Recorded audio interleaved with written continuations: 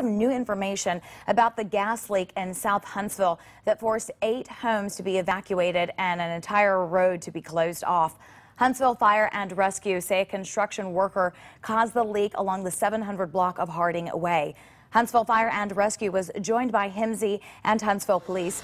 Firefighters closed the leak and went to each house, checking the gas levels to make sure that everyone was safe and that people could go back inside. 25 people were waiting outside as crews surveyed the area.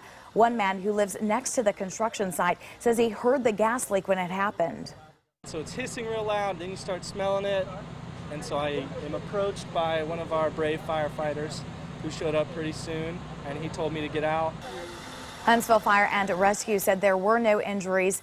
Everyone was allowed back in their homes, and Harding Way was reopened.